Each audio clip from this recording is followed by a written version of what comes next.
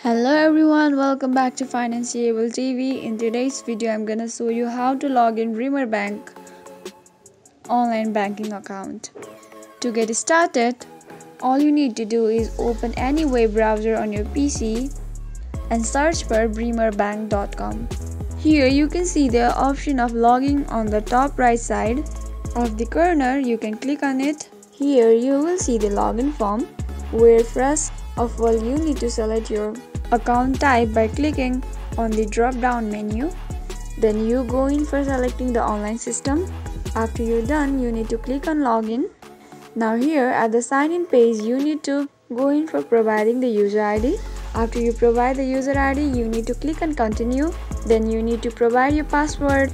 Then click on continue where you will be directly logged into your online banking account of Bremer so that is how easily you can log into Bremer Bank online banking account.